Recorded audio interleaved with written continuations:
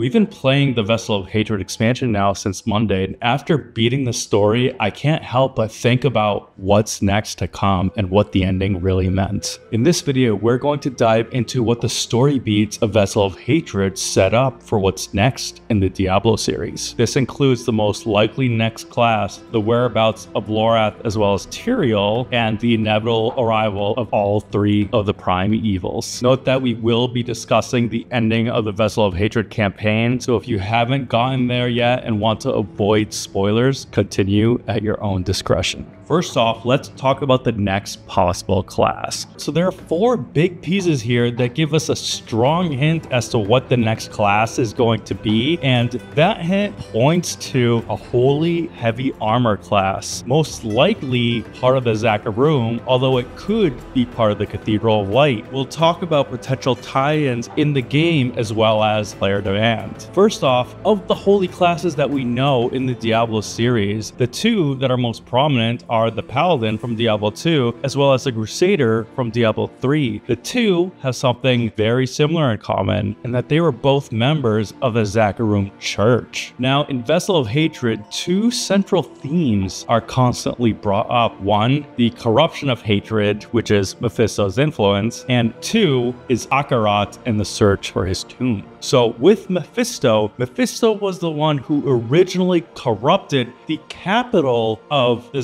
Zakarum faith from the Travincal, corrupting the High Council, the highest figure, the Que-Hegan, who was known as Sankekur, whose tomb we dived into in season 5, and then using the High Council to use a compelling orb to corrupt everyone that's part of the faith in Kurast and Diablo 2. Now, Diablo 4 takes place 50 years after Diablo 3, and Diablo 3 takes takes place 20 years after Diablo 2. So that's 70 years since Mephisto corrupted the Zakarum church. Now, although at this point the Paladin Order is more or less defunct and the ones that are existing were absorbed into the Night Guards of Westmarch over in the Western continent, we do get to see the remnant of the Crusaders in Zarbinzet, and they are front and center of Season 6's theme, which is Hatred Rising. And although they're beaten, battered, bruised, and were directionless in Zarbinzet, the rising hatred of Mephisto gives them a calling and purpose once more. And when you do have conversations with them in town, they fret about not being able to find Zakarum's tomb, which was their original charge back in Diablo 3. Speaking of Akarat's tomb, no big spoilers for the campaign here. We do discover an in vessel of hatred, and not only that, but Mephisto, just like he claimed the head of the Zakarum church before with the Que-Hegan and now claimed the body of Akarat, which essentially is going to develop an Antichrist-like arc. Mephisto steals Akarat's body and uses it as the vessel of hatred, implanting his soul stone so he could now possess the corpse of the grand worship leader, essentially leading us into the equivalent of an Antichrist arc for Mephisto's next step. Now, I imagine that the existing Zakarum, which in this case is just the Crusaders, are not going to be too happy about that. So it's very possible for us to see a potential Crusader class or a light bearing heavy armor class fighting back against Mephisto, desecrating the Akarat they worship for their entire existence. I can't imagine of a better class to take up arms against Mephisto then. Also, moving aside from the Zakarum Church, another prominent figure is the Cathedral of Light. And especially with the group of burned knights, they realized Inarius for what he was, calling him a mad angel and believing the church to be fools for marching down into hell following him. In fact, they even bring up that angels are no better than demons in not giving a shit about humanity. And we actually hear that from the horse's mouth during this side quest out of Nahantu. You and I Eh, Wanderer? There was no greater horror than when heaven stood silent as Inarius was butchered. You must know the tale well. How could they abandon him, I cried. How dare they abandon us?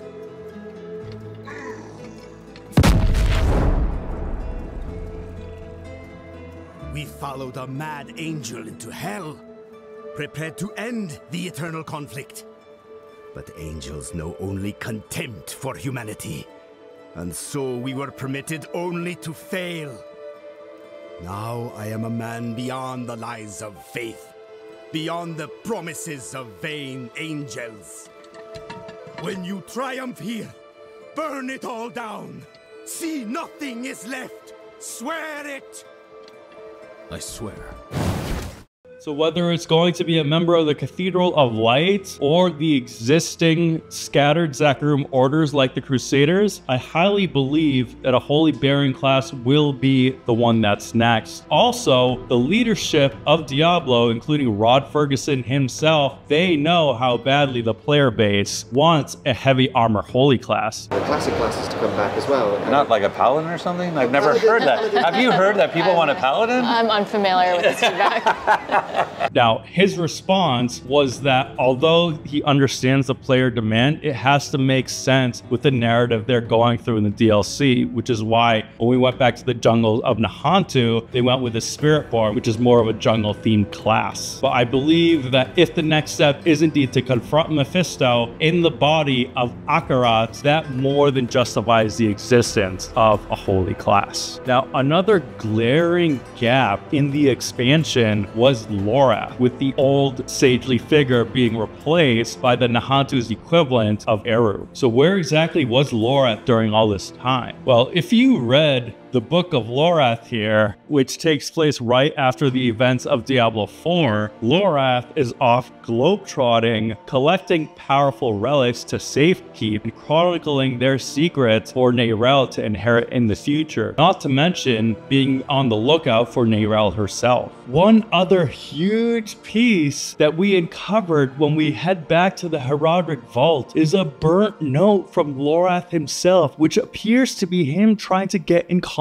with Tyrael. Bringing up the note, Lorath says, I must have failed him. Why else won't he answer? He must be out there somewhere. Perhaps one day, Tyrael. One day. So Lorath is clearly trying to reach out to Tyrael here, which gives us a good hint that Tyrael must still be out there. Now, the angels, and particularly Tyrael, have only gotten involved when the prime evils emerge onto Sanctuary. With Mephisto now clearly inhabiting Akarat of all vessels, this would be quite the nudge to get Tyrael as well as other angels back into the playing field. Another potential pivot too that we can see is that during Vessel of Hatred's expansion, it is clear that the Wanderer that you're playing is powerful, but not as powerful as say the Nephalem from Diablo 3. And the reason being is the Nephalem Diablo 3 was able to destroy Diablo and Heels, which was the prime evil of all the power of the seven evils of hell congregated into one form. And in Vessel of Hatred, you defeat the Herald of Mephisto, which is considered a small sliver of Mephisto's strength by Neyrelle. So if this small sliver took so much effort that even Akarat himself had to sacrifice his eternal soul to take down Mephisto's herald, how is the Wanderer going to be able to topple Mephisto? Now, Mephisto's herald did say something interesting during the confrontational with the Wanderer, claiming that very few individuals outside of our Wanderer is worthy of the birthright. So I am curious to see if there will be an arc, maybe as part of the next expansion, before we confront Mephisto to awaken more dormant Nephalem powers. I mean, why else is our Wanderer able to survive Lilith's blood up to this point when many others fell to her corruption? Now, in terms of where we can go next, according to the map of Sanctuary, Diablo 4, including Vessel of Hatred, has now covered pretty much all of Estuar, which is the eastern continent. The one piece we did not uncover, however, is the lost city of Ureh, which is a small part here